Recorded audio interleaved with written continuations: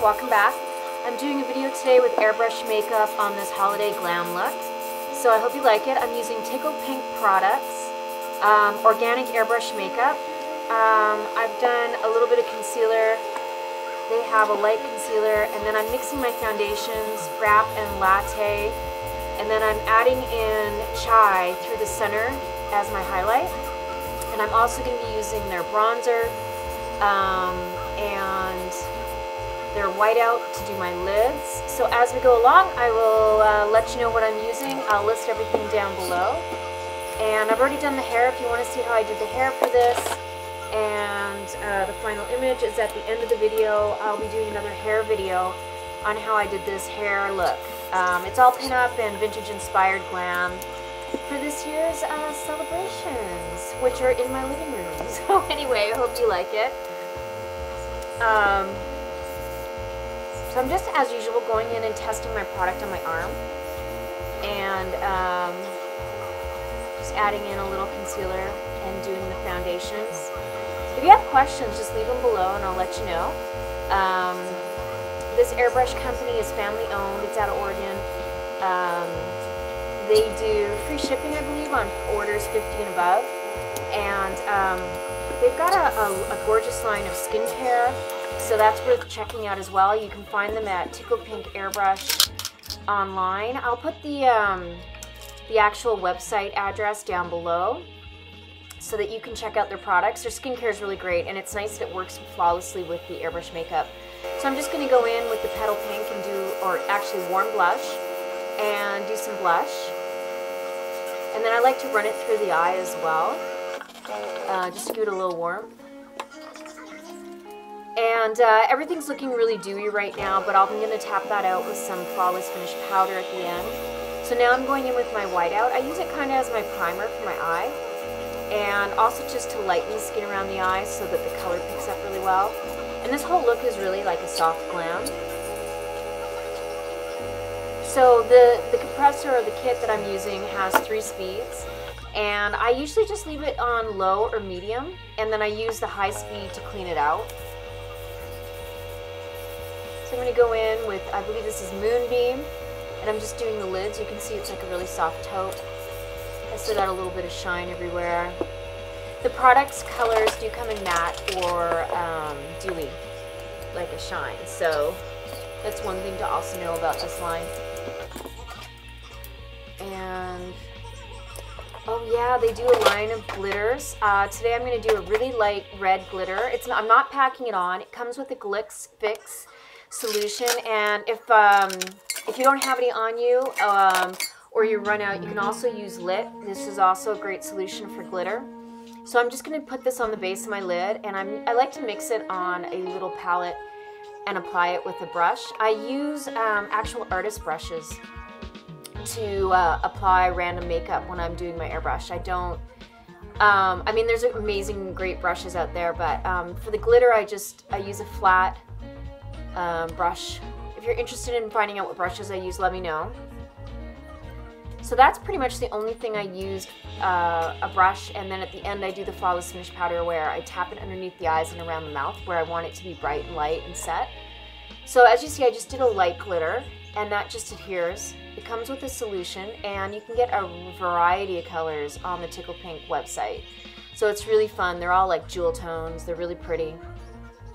And as you can see, you can wear it light or heavy, and this just has a nice like shine to it. It's a bright, deep red, but it looks like a, a pink almost. And if I was to go heavier, it would look like a, a very deep red, but um, I'm keeping everything really soft and pretty uh, for this video and this look. And in between I'm always cleaning and tweaking my stuff, so bear with me.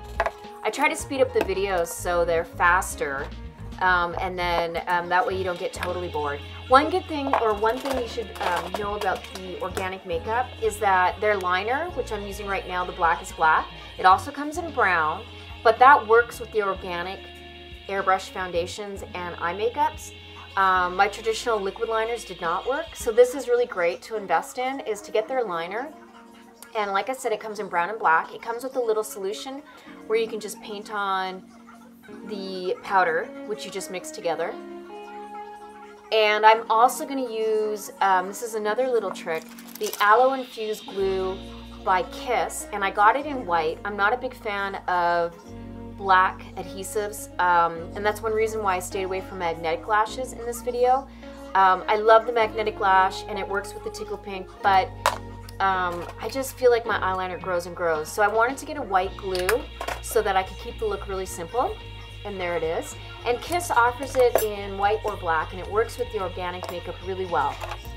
Um, so that's something to keep in mind, especially if you're doing this makeup and you know your clients request organic makeup. Uh, Tickled Pink's a great option to have in your kit and it's good to know what eyelashes and liners actually work with the product so that you aren't in a bind, especially for weddings and stuff, or if there's windy weather or it's a shoot eh, or what have you. So I'm just going in and tapping in some powder underneath the eye. I like to just set it. And as you can see, it just kind of mattifies it a little bit. It just gets rid of a little bit of the shine. So that way I like to play with matte and shine, so I have a, a mix of it. Don't worry about that hair. So I did a whole video on that as well. So I'm just going to tap around the mouth, the chin, underneath the eyes, just anywhere I feel like I want it to set and be less shiny. I'm also doing this look for a shoot. I have a dress from Retro Stage that I'm going to be wearing at the very end. And I did this whole look for a shoot that I did of the dress. And um, if you go to my Instagram, you can see the pictures of the dress and the fun little reels that I'm doing and it's all vintage inspired and it's all positive and to keep you happy and, and just kind of put something fun out there into the world. So um, lashes on.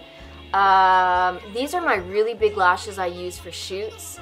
I can't remember the name. I got them in a huge bundle and I use them on all the models and I use them um, when I'm specifically doing portrait shoots uh, because they're so long and lush. And it's good to know what lashes actually work with the products and the makeup. So the glue held these lashes the whole time. So they were great. And these are a big lash. And I'm going in, I'm gonna do a nude lip. I'm just using a soft pink pencil. I'll be using the Milani uh, gloss at the very end and Dollhouse um, Gabby uh, for the opaque look on the lip. So I'm just going in and lining and shading in the corners. Um, and I'll list those as well.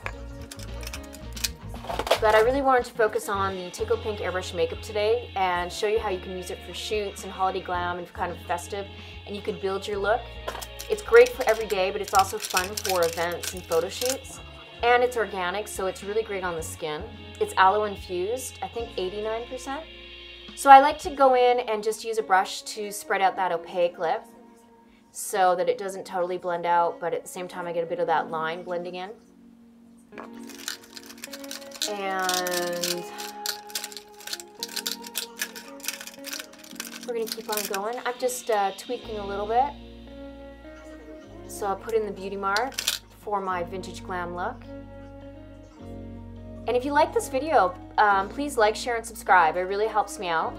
So I'm going to go in and I'm going to add in um, Diamond Glow, which is the Tickled Pink highlighter, just on the tips of the, the highlight of the cheek, the nose, the mouth, the chin, just a little bit on the sides of the brow, and just adds a really beautiful, subtle little shine that just pops. And I know I took the shine out with the powder, but you just want to strategically put it in in the right places for the shoot, and it looks just amazing.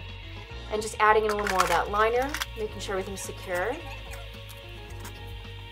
And I'm going to use some mascara just to seal those fakes and those real lashes together and just give everything, finish off the look. So I hope you guys like the look. Happy holidays. And be sure to check out my Instagram, Baroness Lovey Deluxe, and join me for more gorgeous glam videos. See you guys. Have a great holiday.